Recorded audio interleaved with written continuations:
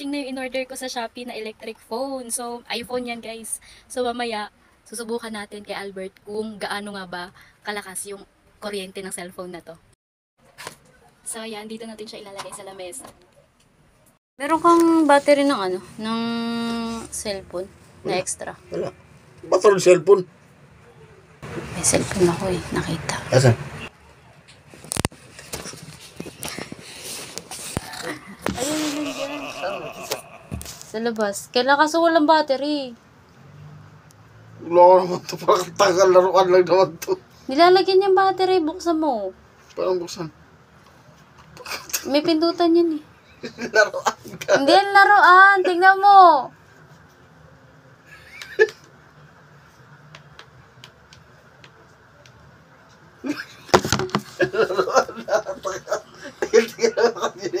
Dito.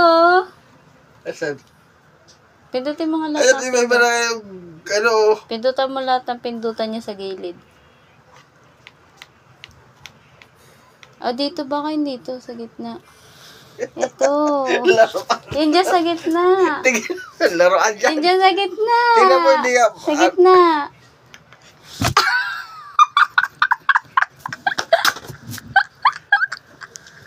Tagal laruan.